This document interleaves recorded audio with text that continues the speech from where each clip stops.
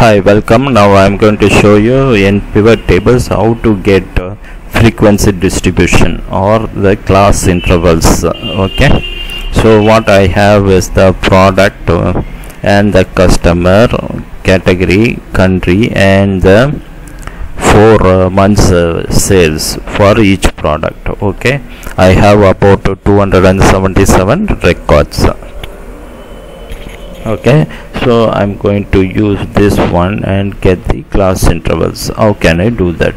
Okay i want the class intervals for the uh, sales because class intervals for uh, the numbers okay?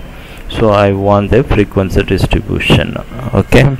So how can i have it? Uh, okay now i have I just select all the columns or only for the january okay I just select all and insert pivot table. Since I selected so the table range for my source data is already given here okay? Columns A to uh, dollar H. If you didn't uh, select it then you must press and go and select the data. Okay like this then again click then you will come to the same uh, same uh, pop-up uh, window okay? Then now you have choose where you want the pivot table report to be placed okay? Probably this time I will use a new worksheet okay? Press ok in the new worksheet you can able to see it is coming up with the area of uh, pivot table area and all the fields is available here. Okay? So in this field so you can select it from the pivot tables fields pan. This is a pivots table fields pan and from the pan you select and put it into your columns rows or uh, what are the columns needs to be calculated for summation values and filters okay so now what i'm going to do is i want the january as rows okay what i have you can see here it's a lot of uh,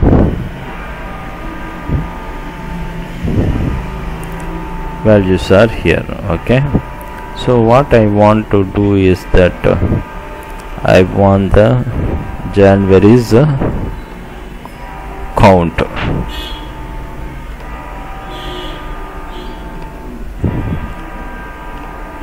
you can see here each value appears only once. Okay?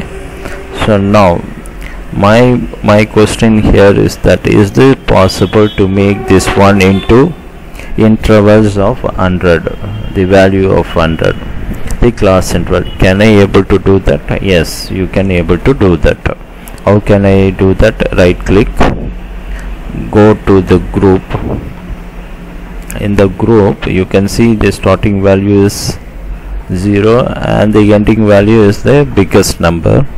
You want by each group to be by 100 press ok. You can able to see the count of jan is changed. And you can see the number of uh, sales from 0 to 100 is 223 records. Okay from 100 to 200 is 17 records. Okay 200 to 300 is 11 records.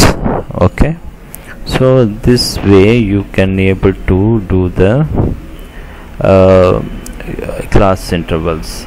Okay these class intervals are of 100 you want it for group want it for uh, 0 you want it for 1000 you can able to do that by 1000 see 271 is up to 1000 1000 to 2000 is 5 2000 to 3000 is only 1 okay?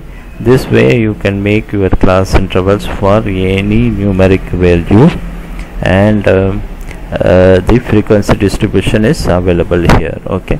So how can you read it? How many records the counts of of sales falling from 0 to 1000 okay? Falling from 0 to 1000 is 271 okay? 1000 to 2000 is 5 2000 to 3000 is 1 okay? Okay this way you can make uh, class intervals in uh, numerical values in uh, pivot tables okay? Hope my video is helpful to you. If you like my video please uh, subscribe to my channel. It's already popping up. The Allan Sam logo is already popping up in the uh, video itself and uh, God bless you